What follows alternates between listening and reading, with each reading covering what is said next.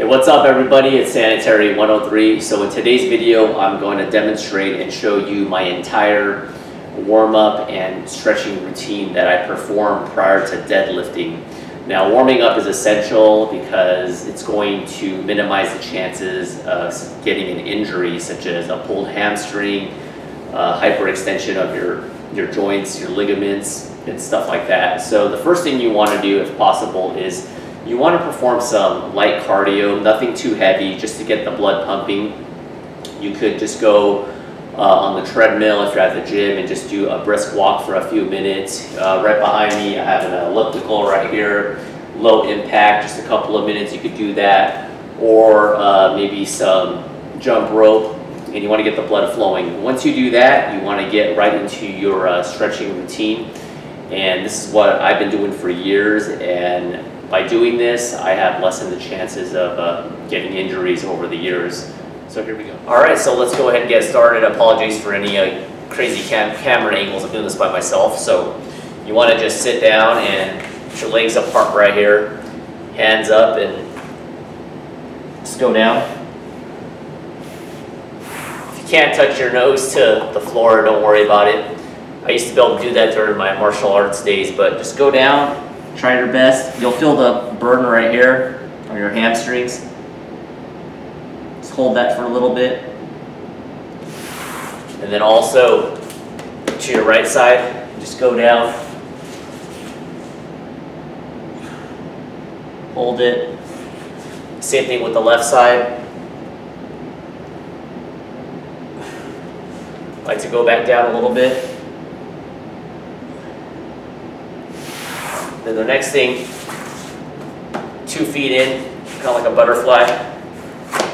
Heels together, push them in. And right here, these little wings, as you put your hands right here, push these down a little bit. Just hold it. Okay. Legs out, one leg crossed over the other, elbow opposite hand, just push. Feel it back here, your ass area. Same thing other side. Then I like to just repeat it a few times, but on this time, same thing, but kind of bounce a little bit. While going down, bounce to the right, bounce to the left. And the reason I like to balance is when you deadlift, you're going to be bending your knees.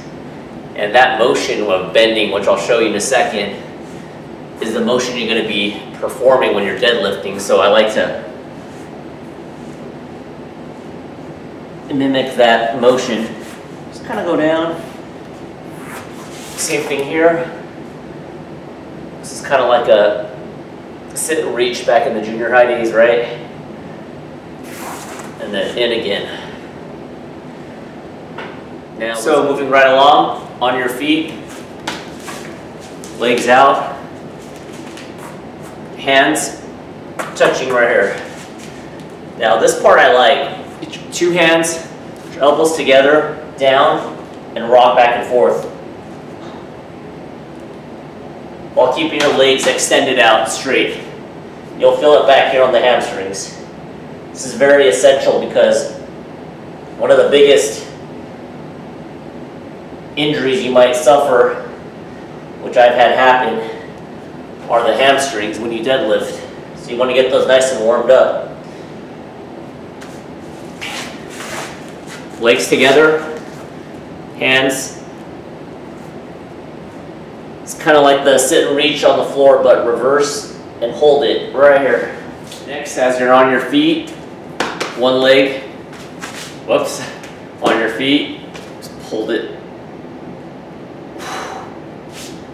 Other leg, losing balance a little bit, don't worry. Nice. So you get side view. Hopefully you can see that. You want to bend this leg behind, touch your butt and grab it with the left leg, left hand, grab and hold it. You'll feel this one on the, the front the front quad. And then right arm, right leg, hold it. If you lose your balance a little bit, that's okay. And for more advanced, you kind of push like that if you want to. Feel it right here, like. All right. Then uh, upper body, you want to like to move around a little bit. Now I've done a more extensive warm-up stretching routine. I'll put that at the end of this video for upper body, but this is similar. I like to just move the joints a little bit. Because when you're deadlifting, you're not just using your lower body. It's a complete compound movement. You're using your entire body. Little arm circle. Back and forth. Right here. All right, kind of move around. And then the, the last thing I like to do is the hips.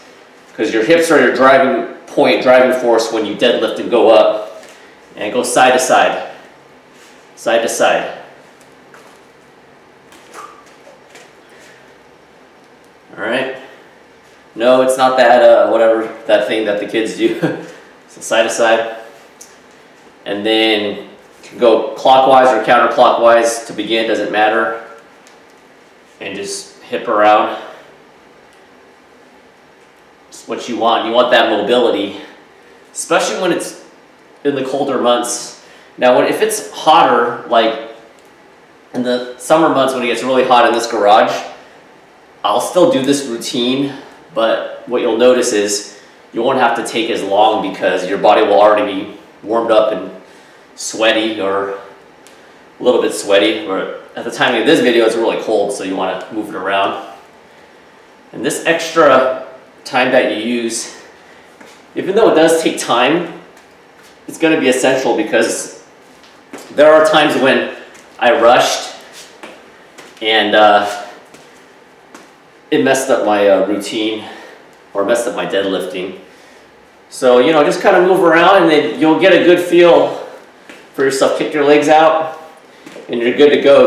And then you want to start your uh, deadlifting. So I'll show uh, one quick set and then that'll be so it. Here we go. I have a moderate weight, 135. And uh, I feel pretty warmed up.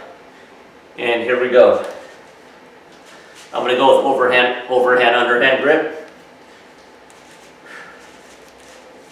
If at any point you start feeling some tightness right here as you're bending, re-stretch again, warm up, and then try again. Here.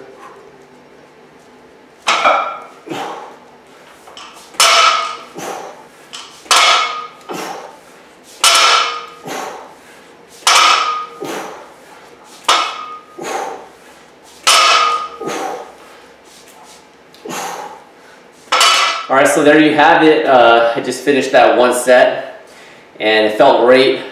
I feel very uh, loose and limber and I'm gonna go ahead and off camera finish my uh, deadlifting routine. So uh, if you like that video, be sure to give it a thumbs up. Subscribe for more uh, content. I put at least two to three new videos per week. Exercise tutorials, workout tutorials, in general, uh, cooking videos, the whole nine yards. Take care. Bye.